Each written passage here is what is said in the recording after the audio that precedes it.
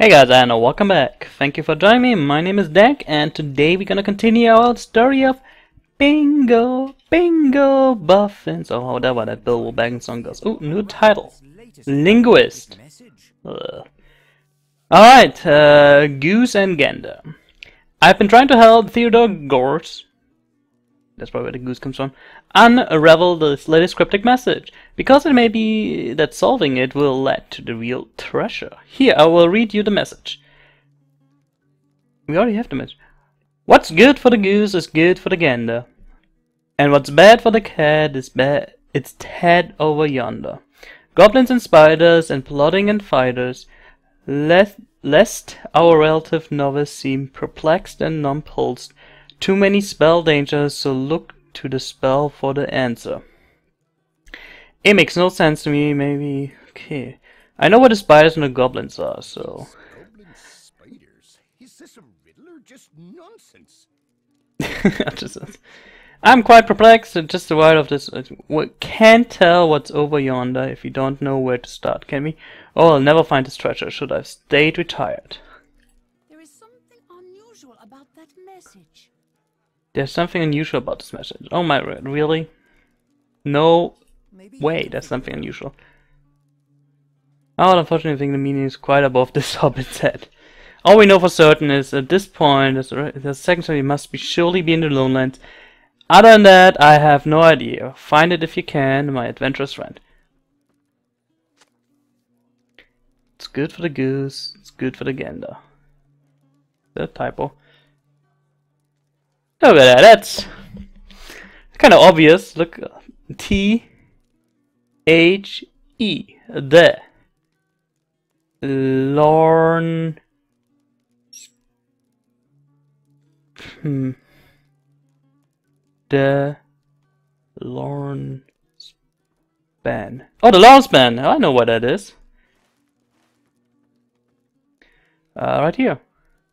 No, right here. No, right here. Third try was it. The lawn span. Okay. Well, that was. See, this is kind of. I don't know if I missed something the last one, but this is good. You know, this you can figure this out. The lawn span. Too many spell dangers, so look to the spell for the answer. Oh yeah, yeah. Well, yeah. Obviously, the spelling. There you go. Yeah, the lawn span. Okay. See, I like this one. It makes sense. It was, you know, it might take some people a little bit longer to, to figure this out. But, yeah, it makes total sense. Of course, you need to know the Lonelands. If you don't know the map, you know, the lawn span won't help you at all. But if you know the map, you know that this is that bridge over there. Alright, so we just have to go there and hopefully find that uh, strong chest and help Bingo. But if you haven't yet, you should definitely listen to uh, The Tale of Bilbo Baggins by Leonard Nimoy. It is something. just just for the costumes that I was wearing that back then. Uh, up, there's my dog again. Hey, what do you want? Oh, oh, okay. Ugh. Every time I record, my dog needs to be, you know, laying close to me, on me, above me, under me. It just needs to be somewhere close to me. Alrighty. So all we have to go is go there, uh, go to the launch band. You can either go from Ost Guruth and go this way, or you can go this way. Either way will work. You gotta cross these goblins. So if you're on level, you probably don't want to go this way because you're gonna fight a bunch of elite goblins. These guys, which are quite tough on level. They're just coming from the other way. Go for this.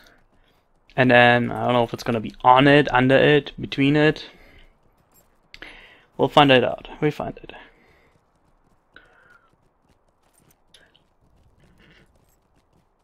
Is this not it yet? But it's the way we have to go.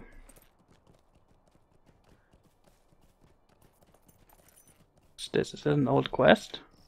The weird symbol there. But the launch span should be uh, coming up right here. This is it. So it's either under it or on it. It makes more sense for it to be under it.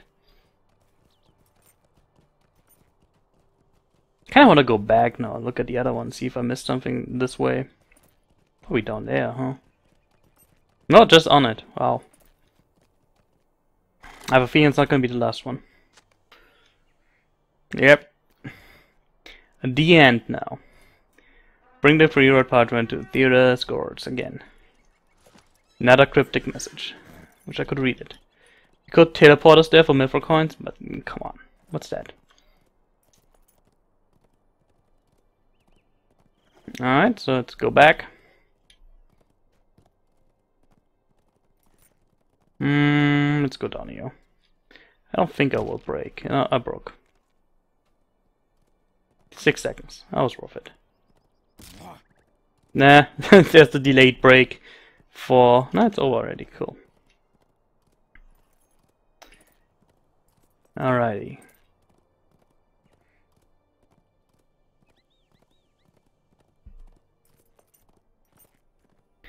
Do, do, do.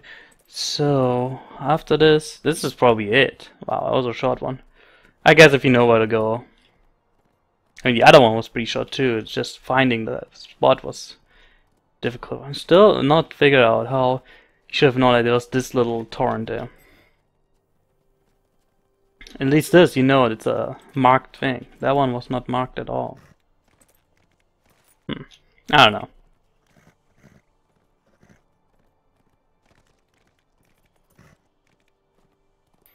See what he wants. But we're gonna get our title, that's for certain.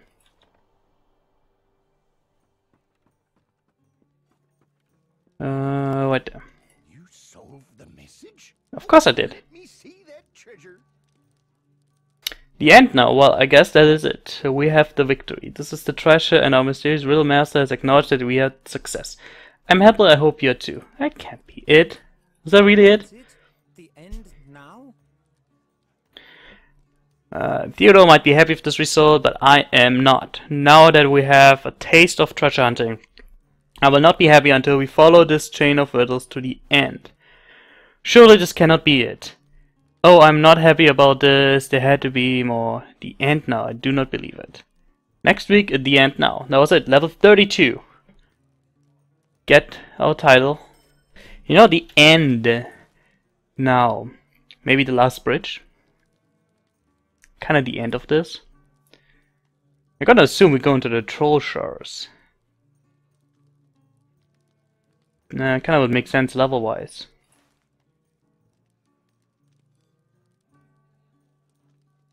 Oh, we could go up here.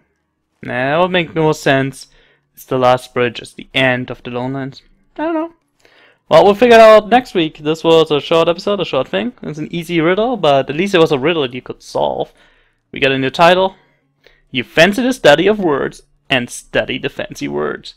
Ooh. Alrighty. Well, thanks guys. Uh, as always, see you next time. Thank you for watching.